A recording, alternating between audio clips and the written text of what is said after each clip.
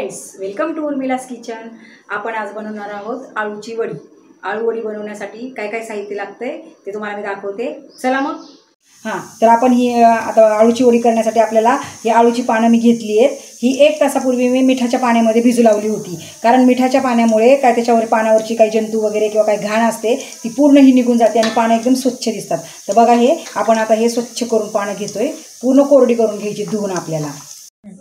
आळूवडीसाठी आपण इथे थोडंसं काय काय साहित्य घेतलं ते बघू. इथे मिरची पावडर घेतलं आहे मीठ घेतलं आहे हळद घेतली आहे आलं लसूणची पेस्ट घेतली आहे आणि जिरा पावडर. आणि इथं तीन वाटी तीन छोट्या वाट्या मी बेसन पीठ घेतलं आहे म्हणजे माझी पानं जास्त आहेत. त्याच्या प त्याच्या अंदाजानुसार मी इथं बेसन पीठ घेतलेलं आहे. तर आपण आता ह्याचं बॅटर बनवूया कसं करायचं? आणि दीड लिंबू घेतला आहे बघा इथे मी. दीड लिंबू कापून ठेवला आहे हा दीड लिंबू घेतला आहे तर आपण आता ह्याच्यामध्ये ही एक चमचा आलं लसूणची पेस्ट टाकणार आहोत.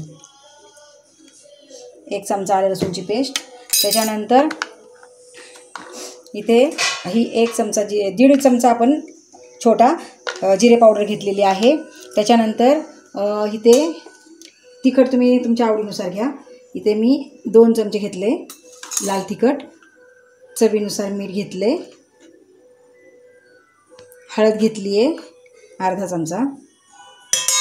आणि हा दीड लिंबू घेतलेला आहे मी इथे तर हा आपण याच्यात टाकून घेतो आहे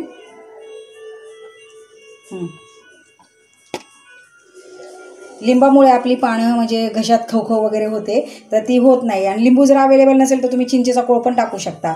जर तुमच्याकडे चिंचेचा कोळ असेल किंवा चिंचा असेल तर ती भिजवून त्याचं पाणीही तुम्ही करून टाकू शकता. लिंबू नसेल तर. तर मी इथे दीड लिंबू घेतलेला आहे. हे बघा बघू शकता आणि आता आपण हे आता मिक्स करणार आहोत सगळं. जास्त काही साहित्य नाही आहे मी थोड्याशा साहित्यामध्येच आळूवडी एकदम कुरकुरीत बनवणार आहे.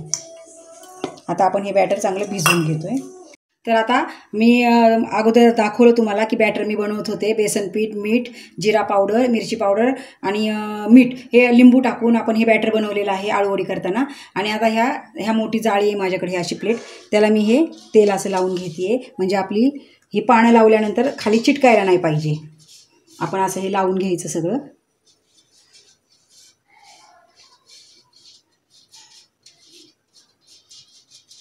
हे. पूर्ण असायला ग्रेसिंग करून घ्यायचं. हे बघा. हां आता ठेवतो आहे आणि आता आपण पाणी लावून घेतो आहे तर आपण पहिलं हे एक सरळ पाणी घ्यायचं असं. हे बघा तुम्ही बघू शकताय सरळ पाणी घ्यायचं. आणि हे बॅटर जास्त घट्ट पण नाही आणि जास्त पातळ पण नाही. असं दाखवलं आहे बघा हे. हे असं लावून घ्यायचं.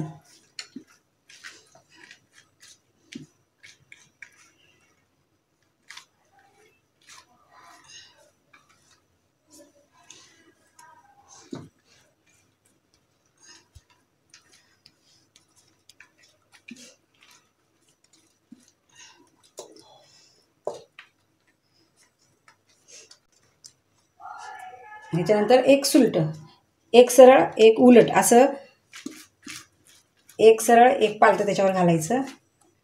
असं पानं लावून घ्यायची. हे बघा.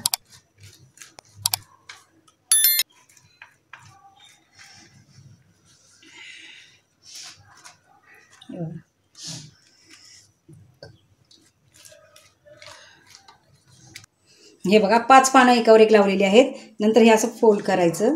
हे बघा हे असं फोल्ड करायचं आणि त्याला पण आपण हे बॅटर लावतो आहे हे बघा.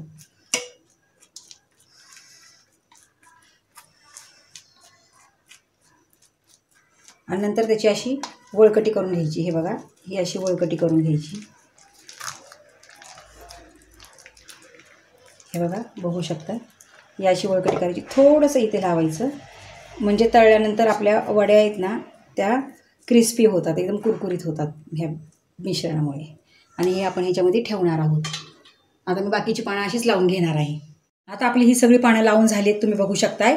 आणि आता मी इथे एक पातेले ठेवलं आहे त्याच्यामध्ये दीड ग्लास पाणी टाकले आणि थोडंसं लिंबू टाकले म्हणजे पातेले काळं नाही व्हायला पाहिजे म्हणून मी लिंबू टाकले तर आता हे ठेवलं आहे ह्याच्यावरती आपण ही प्लेट अशी ठेवायची आणि ह्याच्यावरती झाकण झाकायचं. म्हणजे आपल्या ह्या वड्या वाफून निघतील चांगल्या. तर मी ह्याच्यावर एक प्लेट झाकते मी अशी प्लेट झाकते आणि दहा ते पंधरा मिनिटं आपण हे आता वाफून घेणार आहोत. दहा ते पंधरा मिनिटं. फ्रेंड्स आता पंधरा मिनिटं झालेली आहेत. पंधरा मिनिटानंतर आपण बघतोय. किंवा ह्या वड्या पूर्ण बघा आता हे शिजलेलं आहे. आपण आता गॅस बंद करतोय आणि ह्या थंड झाल्यानंतर आपण कापून घेणार आहोत आणि मग तळणार आहोत. मग बघूया पुढची रेसिपी हां तर फ्रेंड्स आता आपण बघा ह्याच्या वड्या कापून घेतलेल्या आहेत. वापून घेतल्यानंतर अशा कट केल्यात. आता मी इथे तेल तापायला लावलं आहे कढईमध्ये. तेल तापलेलं आहे. तर आपण आता हे आपण डीप फ्राय करणार आहोत. कोणी कोणी शॅलो फ्राय करतं पण मी डीप फ्राय करणार आहे. कारण डीप फ्राय केलं ना तर ह्या वड्या एकदम कुरकुरीत म्हणजे क्रिस्पी लागतात एकदम. खायला खूप छान लागतात. चला टाकूया.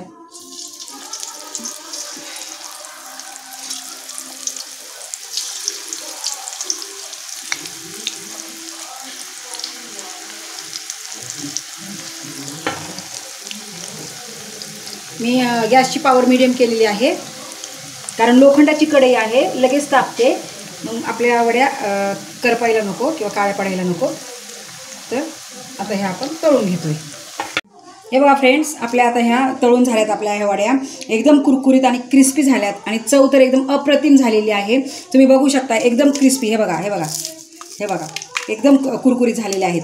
जर तुम्हाला ही रेसिपी आवडली तर मला लाईक करा सबस्क्राईब करा आणि रेसिपी शेअर करा. रेसिपी आवडली तर ट्राय करा आणि मला कमेंट बॉक्समध्ये कमेंट द्यायला विसरू नका. भेटूया नेक्स्ट व्हिडिओला तोपर्यंत सर्वांनी आपापली काळजी घ्या मस्त खा स्वस्त राहा. भेटू नेक्स्ट व्हिडिओला बाय बाय